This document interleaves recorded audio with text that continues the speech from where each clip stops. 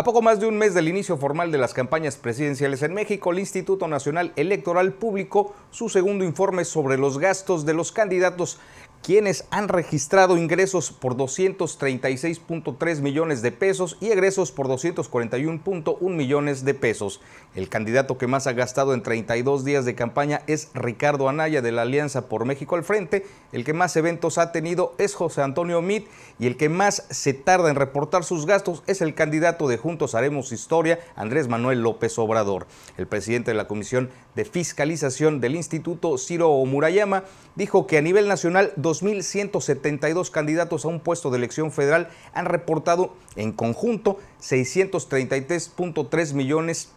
de pesos en ingresos y 576 millones de pesos en gastos.